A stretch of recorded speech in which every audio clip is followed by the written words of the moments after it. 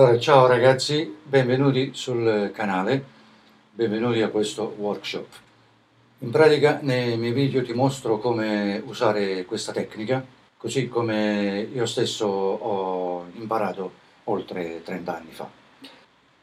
E allora, cosa rende speciale eh, questa tecnica? Questa tecnica la rende speciale principalmente tre cose. La prima, i materiali con cui si lavora. La seconda, il tempo di realizzazione che è molto molto molto veloce.